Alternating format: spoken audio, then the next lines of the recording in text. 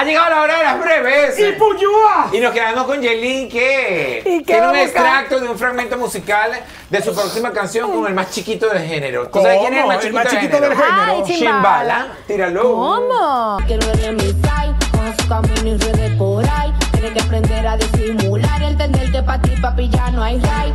¿Quién te dijo que quiere un Right. Tienes que entender que no Oye, una cosa.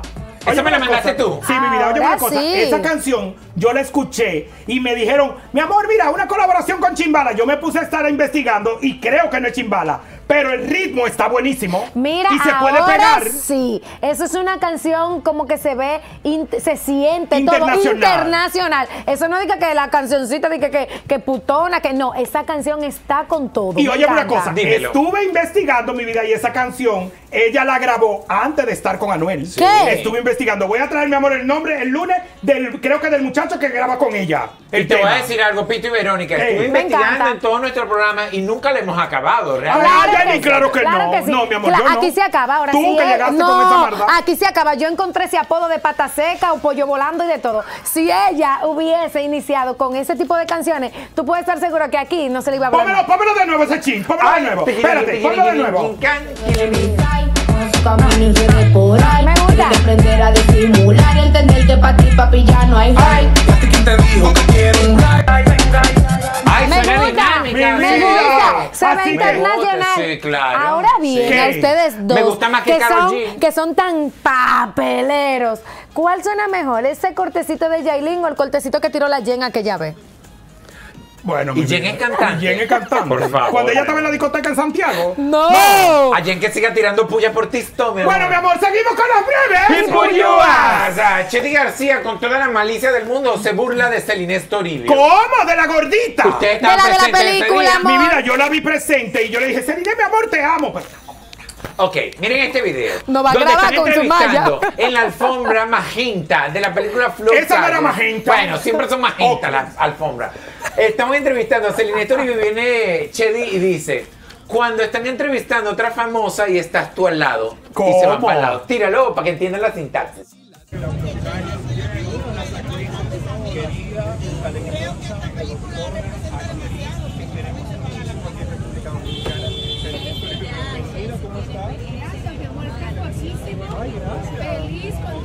Es el mismo camarógrafo. Ok, mira, están entrevistando a Celine Radames Espíritu Ajá. y ven a Chedi, la ponchan a Chedi, pero él debería quedarse con esta. Celine y Claro, por eso. ¿Por qué ponchan a Chedi? Porque es más importante que Celine. No, no, no. A mí, a mí, yo creo que a lo mejor faltaban camarógrafos y entonces el camarógrafo quería captar varias Ajá. entrevistas, pero se le olvidó hacer el corte. Lo que no Entonces entiendo la es- mala es Chedi que publica eso, Pito. Claro, Chedi lo publicó, tú sabes, con su segunda intención, pero en esta ocasión nuestra amiga Celine, mi vida, participa en la película, tiene un papel importante en la película y le están entrevistando. ¿Y Chedi qué hacía en la el caso película? de, de Denise, ella está entrevistando a más personas en la alfombra. Recuerda que Chedi es la mamá de Chelsea y Chelsea participa en la película. También, exactamente. Pues o sea, peor aún, porque ¿Qué? es la mamá de alguien que actúa, no es Lo que, lo que- lo que yo me fijo es que mira cómo Chedi andaba vestida. Y ella está muy vieja para esos canes. Ay, sí. Ella andaba como con un traje de baño y una, y una Y mallita un arriba.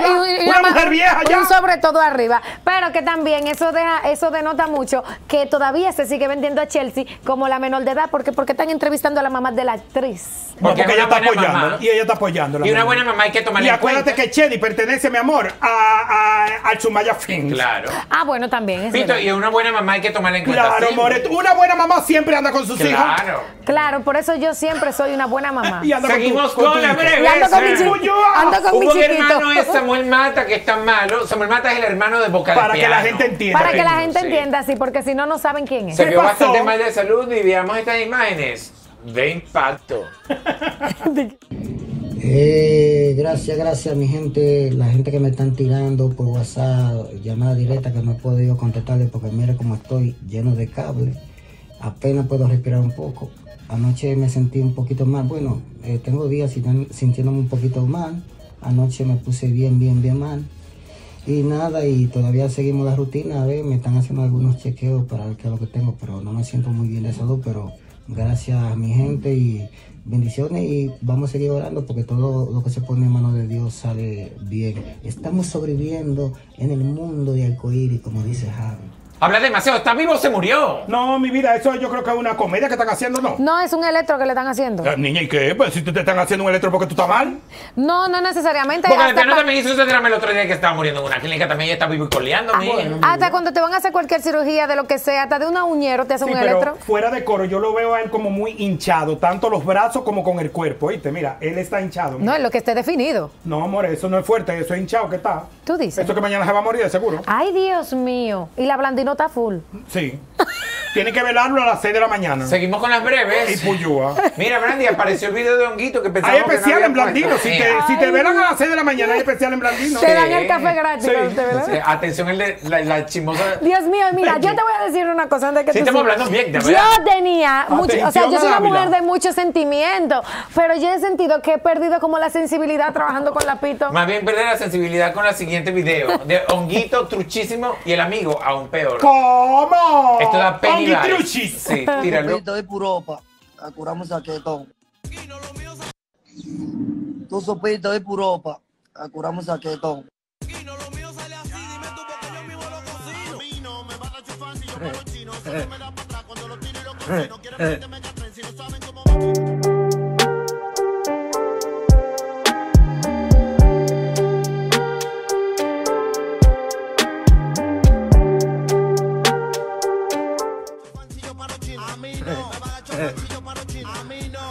¿Y lo que yo, pues?